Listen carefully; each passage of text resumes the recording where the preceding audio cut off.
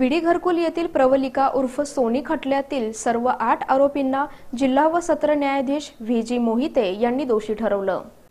जिल्हा व सत्र न्यायाधीश व्ही जी मोहिते यांनी आरोपी नरहरी रामदास श्रीमल वय चौतीस राहणार लक्ष्मीनारायण थिएटरच्या मागं श्रीरामनगर विनोदा नागनाथ संदूपटला वय तेहतीस राहणार अविभाग विडी घरकुल कुंभारी महादेवी बसवराज होनराव वय पस्तीस राहणार विडी घरकुल अंबुबाई भीमराव कनकी वय अडतीस राहणार सुंचू विडी घरकुल कुंभारी.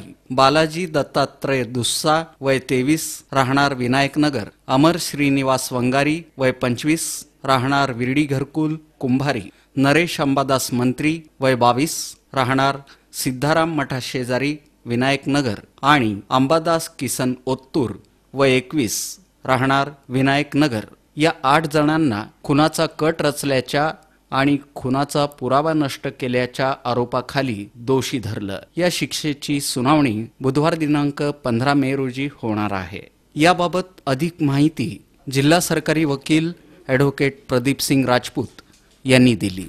गोष्टी आम्ही पुराव्या दाखल न्यायालयासमोर मांडल्या आणि त्यासाठी आवश्यक असणारे उच्च न्यायालय आणि सर्वोच्च न्यायालयाचे न्यायनिवाडे आम्ही न्यायालयामध्ये सादर केले. सरकार पक्षानं सादर केलेला पुरावा आणि सरकार पक्षानं केलेला युक्तिवाद मेहरबान कोर्टाने ग्राह्य धरला आणि त्याप्रमाणे आरोपी क्रमांक एक ते चार यांना खुनाचा कट करणे खून करणे आणि खून केलेला पुरावा नष्ट करणे या अपराधाखाली दोषी धरलं. तसंच इतर आरोपी चार ते आठ पाच ते आठ यांना या ठिकाणी खुनाचा कट रचणे आणि खुनाचा पुरावा नष्ट करणे या दोन अपराधाखाली दोषी धरण्यात आलेला आहे. सदर खटल्याची पुढील सुनावणी या ठिकाणी शिक्षेसंदर्भात होणार आहे. ती पंधरा पाच दोन हजार एकोणीस रोजी होणार आहे. आणि सदर खटल्यामध्ये पहिले जे चार आरोपी आहेत ज्यांना खुनाच्या अपराधाखाली दोषी धरलेला आहे त्यांना एकतर जन्मठेप किंवा फाशीची शिक्षा होणार आहे. अदरवाईज दुसरे इतर जे चार आरोपी आहेत ज्यांनी या ठिकाणी खुनाचा पुरावा नष्ट करण्याचा प्रयत्न केलेला आहे त्यांना सात वर्षापर्यंतच्या कारावासाची शिक्षा आहे.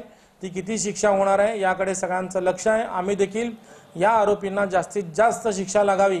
त्यासाठी पंधरा तारखेला सरकार पक्षाच्या वतीनं युक्तिवाद करणार आहोत.